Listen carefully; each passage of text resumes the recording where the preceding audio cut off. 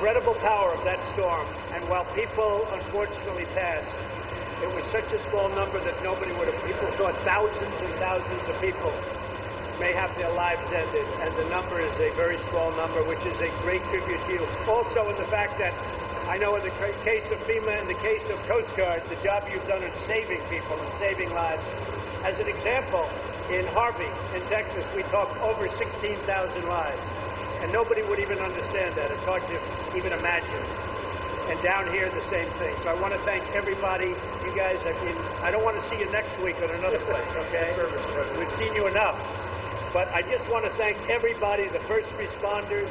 Uh, on behalf of myself, our Vice President, Melania really wanted to be with us. She's really, it's really touched her heart what's gone on. And we've seen the devastation.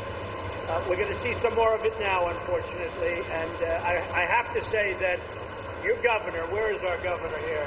Rick Scott.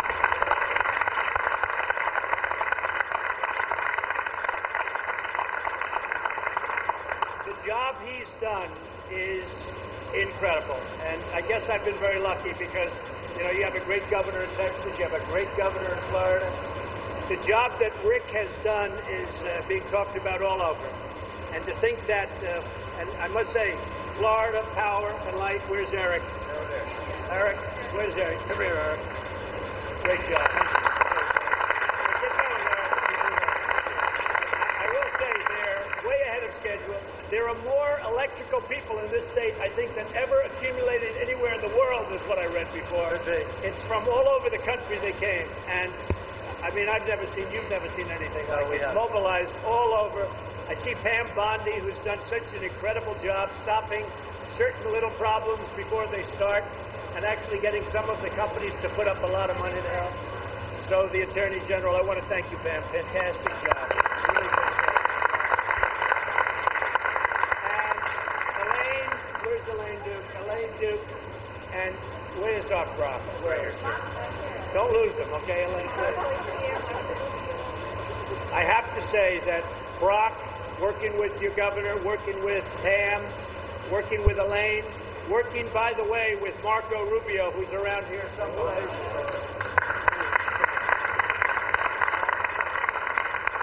It's a team like very few people have seen, and I want to thank everybody. Marco, I want to thank you a lot. You were really helpful. And I just, again, I have to say that what do I know? But I hope this man right here, Rick Scott, runs for the Senate. I don't know what he's going to do, but I know that uh, at a certain point it ends for you, and we can't let it end. So I hope he runs for Senate. Who knows what he's going to do? Again, I, I came down to say hello to you folks and to say hello to you folks and the First Lady and myself. This is an honor for us to be here. We're now going to tour some of the areas, and as Rick said, we have been very, very fast, and we had to be. We were signing papers as the storm was coming in, and that's never happened before. But Rick, thank you very much for the great job, and Brock and everybody, thank you very much. We have the great Rick Perry here. Rick. We have energy. We have Linda, Linda McMahon. We have so many of the people, so many of the cabinet members, because they're going to help. I want to thank Mike Pence. He, he is, in fact, I'd like you to say. Be happy to. Uh, thank you, Mr. President, First Lady. It's an honor to be with you today just to, to pay a debt of uh, gratitude uh, for the great leadership here at the state and local level. I know the President directed the full resources of the federal government to support Florida's effort to prepare for and confront and now recover and rebuild from Hurricane Irma. The President's directive over this weekend was very clear. Wherever Hurricane Irma goes, we're going to be there first. Uh, and thanks to the great leadership of your governor and your emergency management team uh, and uh, all of the great first responders on the ground, that's exactly what Florida did. And as the President has said, uh, we're with you today, we're going to be with you tomorrow, and we're going to be with you until Florida rebuilds bigger and better than ever before. So thank you. Just uh, one word on a very important subject. So your power is, I mean, literally, Rick, it's going on as we speak. Uh, it's going way ahead of schedule, weeks ahead of schedule. And much of it, most of it, I guess, outside of the Keys, where we have a very special problem, but we're working hard on that. That's a very, very special problem. That was just dead center. And uh, but we're working very hard on that, and, and uh, we've got a lot of goods out there, a lot of water, a lot of food, a lot of everything. But I'd like to ask your governor to say a few words. Again, he's been absolutely outstanding. Thank you, Rick. Well, first off, I want to thank everybody for their prayers. We have we've had prayers from all over the world. Uh, I want to thank everybody for doing everything they can to get us back. I want to thank the president and the vice president. What I can tell you is they were always accessible. They made quick decisions.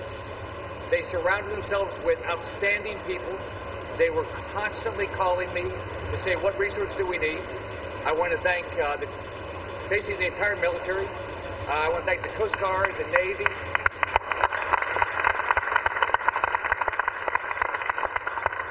I want to say, thank Secretary Duke. I want to thank Brock, Administrator Long. They were always calling to say, what, what resources can we bring to the table? As you know, our state's been devastated. Uh, I was in the, I've been in the Keys. If you go to the Keys, there's, I mean, just, there were nine foot storm surges. Their homes just toppled. Uh, we are, we're, uh, every, we don't want to lose a life. Uh, down here in the this part of the state, we got a lot of flooding, a lot of wind, a lot of rain. We've got flooding up in the northeast. We are working hard to get our power back on. We've restored over our utilities have restored over four million homes already. We're down to about 25% of our homes, and we every person in our state wants their power back. We all want our power back. Uh, but I want to thank them for what they're doing so far. We have high expectations. We want our power back as fast as possible. I want to thank the federal government for all their support. Get our ports reopened so we get our fuel back in our state. We're short of fuel. We've got lines in our gas stations. We're still have lines in our gas stations. But the federal government has been a partner to help us make sure our ports get open so we get the fuel back in the state. We've done law enforcement escorts of our, tra- our tanker trucks to get back to the gas stations, get our, get, make sure we have fuel. So everybody has worked hard. I want to thank our National Guard. We've called up over 8,000 National Guard members. We've got National Guard members from other states down here, making sure our shelters were open, people were comfortable. Uh, we opened almost 600 shelters, shelters in record time. It wouldn't have happened but for the Red Cross, the Salvation Army, the National Guard, but also National Guard from other states. So we have a lot of work to do. This is not, we're not done today. We're going to work hard. I know the federal government will continue to be a partner. Our locals will. Our state will. We're going to make sure we're continue to be a strong, resilient state. But I, th- I want to thank from the bottom of my heart everybody's prayers to help us get through this. Great, thank you.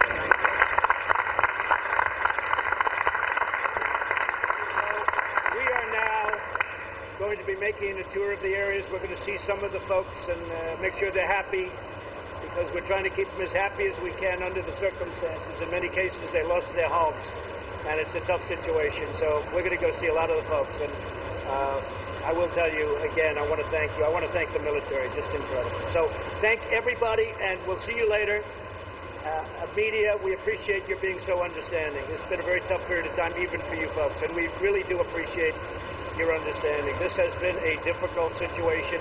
As uh, Rick knows, almost all of the roads are now open, and the ports are just about open. What we had to do to get some of those ports open, people wouldn't even believe that we did it so quickly. So we're very proud of, of the job that everybody around has done. Thank you all. Thank you very much. We'll see you later. Thank you. Thank you.